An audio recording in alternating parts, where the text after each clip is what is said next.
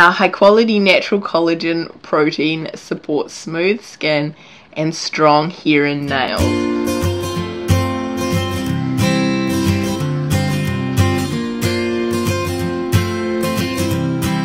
Hi travellers, I'm Anne's daughter Laleko. I feel like I've been influenced into buying it, but it is a New Zealand product. Some time ago, Khloe Kardashian did a collaboration with this New Zealand company.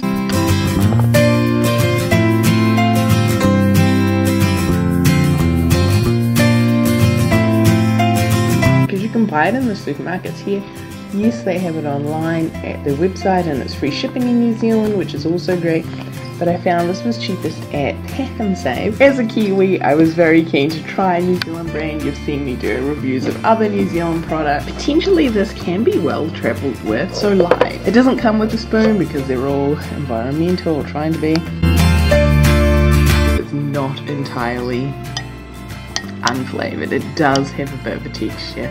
And look at this, it like globs up. I didn't expect this. I've seen other reviews online before I bought it and they didn't show this. Kind of sticky and the spoon becomes sticky as you can see. I'm sure if you drank flavored things then flavored liquids then you wouldn't even notice the taste. There is also the creamer collagen in the same brand. It's not offensive and I can't even say it really tastes like something but I will say it's not just water. $35. I'm gonna add my collagen powder to my soup today. Let's see how it goes.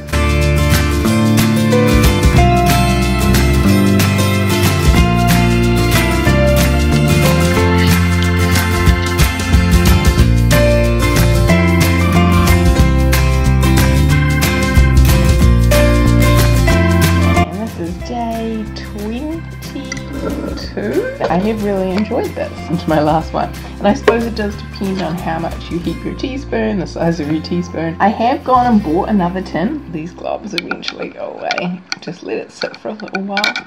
Not a little while, but a little bit. This is my face 20, 22 days since I've started collagen, so it's up to you to decide. Do I look better? Do I not? I haven't noticed my hair or my nails because they're both quite thick anyway, so I don't feel it's any thicker. But what I have noticed is my skin feels nicer. You can buy this in New World and Countdown and Pak'nSave. I bought it at Pack and Pak'nSave because it's the cheapest. I should try the marine one just to see what the difference is, but this is cow collagen, so I am glad to try it. I mean, it doesn't cost that much.